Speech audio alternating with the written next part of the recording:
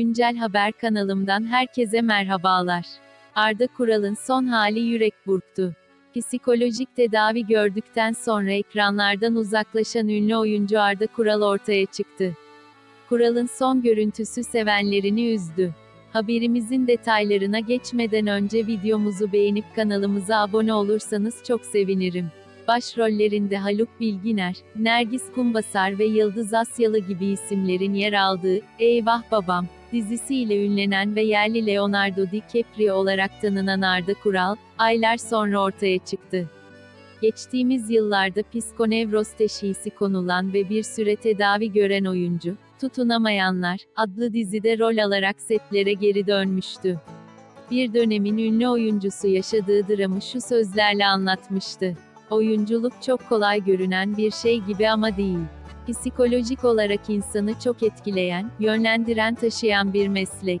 Ben ya, çok iyi yalancıyım, demem gerekiyor oyuncu olmam için ya da, çok gerçekçi biriyim, demem gerekiyor. İkisi arasında kalınca bocalamaya düştüm gerçek ve sahte arasında. Düşünmeye başladıkça kafam biraz karıştı. İnsanlara biraz farklı bakmaya başladım. Geri çektim kendimi, içime gömüldüm. Ondan sonra da hayatı biraz erteledim, umursamadım. Televizyondan uzaklaştım, doğaya yöneldim çok fazla düşünmeye başladım. Ben zeki biriyim, aptal değilim kendimi biliyorum. Saygısız, ahlaksız değilim. Neden ortam bu? Neden bunun alıcısı yok? Benim de çok hatalarım var, onları çok düşündüm. Nasıl değiştiririm, neler yapabilir diye. Ben şöhreti kaldıramamış biri değilim sadece şöhretin mecbur bıraktığı şeyler var onları kaldıramadım. İnsanları seven, kardeş gibi gören biriyim. Kimseye küskünlüğü, kırgınlığım yok. Öfkem vardı. Kendimde aşamadığım şeyler vardı. İnsan hataları önce kendinde aramalı ben de öyle yaptım ve sorunları aştım. İnsanların gözünün önünde büyüdüğümü biliyorum. Gençken her şey çok daha farklı tabi. Bakıyorum arada gençlik fotoğraflarıma hoşuma gidiyor. Çok sevimli, tatlıymışım onları görüyorum. Şimdi biraz daha olgunluk var.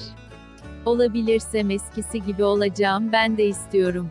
Kural paylaştığı yeni fotoğrafa, yaşadığınız hayat girdiğiniz günahlara değsin, notunu düştü. 40 yaşındaki oyuncunun son görüntüsü sevenlerini üzdü.